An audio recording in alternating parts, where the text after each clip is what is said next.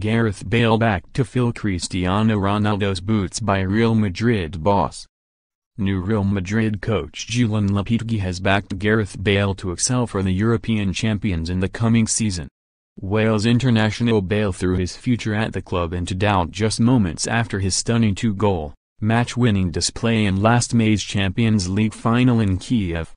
But after a summer of upheaval at the Bernabeu, which has seen Lopetegui replace Zinedine Zidane and Cristiano Ronaldo depart, Bale has remained. Speaking ahead of the European Super Cup clash against city rivals Atletico Madrid and Tallinn on Wednesday, Lopetegui said at a press conference, We've found Bale really motivated, a top pro, who has trained with the motivation of a youngster. We're a team, the team is the main part. What he can bring to the team is his ability and mentality and we're convinced he'll have a great season.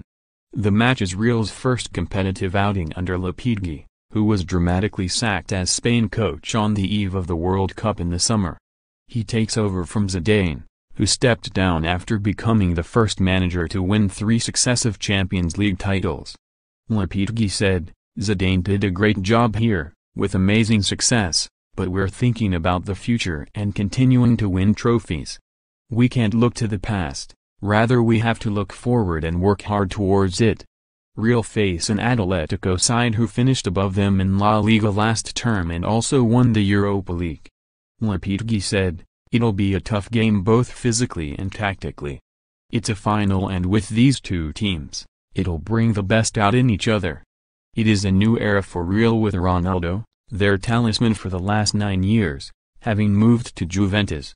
Captain Sergio Ramos said, when you lose such a big player it's obviously a negative, but Real Madrid's job is to win and we'll carry that on without him.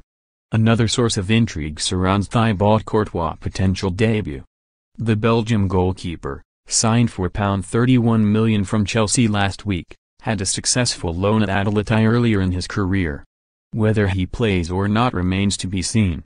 I know who's playing in goal tomorrow. But I'm not telling you, said Lopetegui, who also has three-time Champions League winner Keylor Navas in his squad.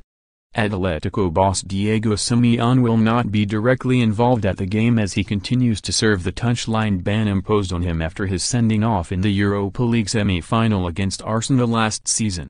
Simeone, however, feels his side head into the new season in good shape, particularly with World Cup winners Antoine Griezmann, Lucas Hernandez and new signing Thomas Lemar in their ranks.